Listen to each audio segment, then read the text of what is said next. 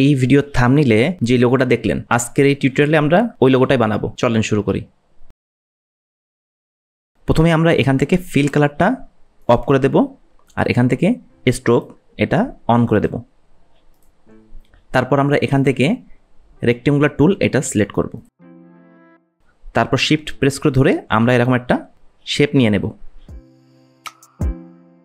তারপর এটাকে আমরা এই কর্নারের এখানে ধরে শিফট প্রেস করে এভাবে ঘুরাই দিব। তারপর আমরা এখান থেকে ডাইরেক্ট সিলেকশন টুল এটা সিলেক্ট করব। তারপর এই তিনটা কর্নার আমরা সিলেক্ট করব। করার পরে এই যে নিচে যে কর্নারটা আছে, এটা সিলেক্ট করে আমরা উপরে এভাবে টেনে দেব। তারপর আমরা এটা সিলেক্ট করব অবজেক্টে ক্লিক করব এক্সপ্যান্ড এখানে ক্লিক করে দেব। তারপর ওকে করে দেব। তারপর আমরা এটাকে এভাবে সিলেক্ট করব কন্ট্রোল প্লাস সি দিয়ে কপি করব, আর কন্ট্রোল প্লাস এফ প্রেস করে পেস্ট করব। তারপর শিফট প্রেস করে আমরা এটাকে ছোট করে ফেলব, এটার ভিতরে। এটাকে আমরা মাঝামাঝি রাখব। তারপর আমরা এটাকে আবার সিলেক্ট করব কন্ট্রোল প্লাস সি দিয়ে কপি করব কন্ট্রোল প্লাস এফ দিয়ে আবার পেস্ট করব। তারপর শিফট প্রেস করে ধরে আমরা আবার এটাকে ছোটো করে এটার সাথে অ্যাডজাস্ট করে দেব। এখন আমরা এই ভিতরে যে ছোট যেই শেপটা আছে, এটাকে আমরা সিলেক্ট করব কন্ট্রোল প্লাস সি দিয়ে কপি করব কন্ট্রোল প্লাস এফ দিয়ে পেস্ট করব। তারপর শিফট প্রেস করে ধরে আমরা এই বড়টার সাথে অ্যাডজাস্ট করে দেব। এখন আমরা এটাকে এভাবে সিলেক্ট করব। এখান থেকে আমরা শেপ বিটাল টুল এটা সিলেক্ট করব। তারপর আমরা এটাকে এইভাবে টেনে নেব।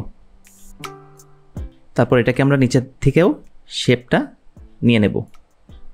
এখন যদি আমরা ডাইরেক্ট সিলেকশন টুল সিলেক্ট করি, এটাকে প্রথমে সিলেক্ট করে আমরা এখান থেকে এই কালারটা দিয়ে দিতে পারব। তারপর এখান থেকে আমরা এটা সিলেক্ট করে এই পাশের কালারটা দিয়ে দেব। আমাদের লোগোটা বানানো হয়ে গেল। এখন আমরা এটাকে একটু জুম করে এই যে আউটলাইনগুলো আছে, এটাকে আমরা ডিলিট করে দেবো। তার জন্যে এখান থেকে আমরা ম্যাজিক টুলটা সিলেক্ট করে এটাকে আমরা ডিলিট করে দেবো সিলেক্ট করে। তারপরে যে হালকা কিছুটা যদি জুম করে দেখতে পারবেন, এই আউটলাইনের যেই ডিলিট করার ফলে হালকা একটা ফাঁকা জায়গা তৈরি হয়েছে। তার জন্য আমরা এখান থেকে ডাইরেক্ট সিলেকশন টুল সিলেক্ট করব, এটার পরে প্রেস করব। কিছুটা সরাই দিব উপরের দিকে, তারপর পাশে। তাহলে কিন্তু এই ফাঁকা জায়গাগুলো আর থাকবে না।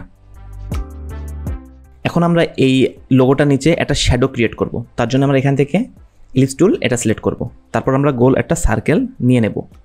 তারপর আমরা এখান থেকে গ্রেডিয়েন্ট এই কালারটা দিয়ে দেব।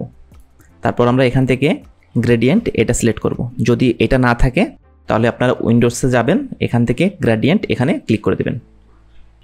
এখান থেকে মাঝখানে যেটা আছে রেডিয়াল গ্রেডিয়েন্ট এটার পরে আমরা ক্লিক করে দেব। তাহলে এইরকম হয়ে যাবে। তারপর আমরা এখানে একটা ক্লিক করে রিভার্স গ্রেডিয়েন্ট করে দেব। ওকে তারপর আমরা এখানে একটা ক্লিক করব। করার পরে অপাসিটি আমরা এখান থেকে কমাই দিব জিরো পার্সেন্টে তারপর এখানে একটা ক্লিক করব।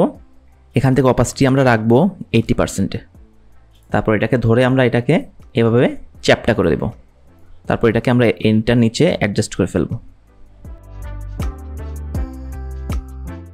আজকের টিউটোরিয়ালটা এই পর্যন্ত ছিল। পরবর্তী টিউটোরিয়ালের জন্য এই চ্যানেলটাকে সাবস্ক্রাইব করে রাখুন। ধন্যবাদ সবাইকে।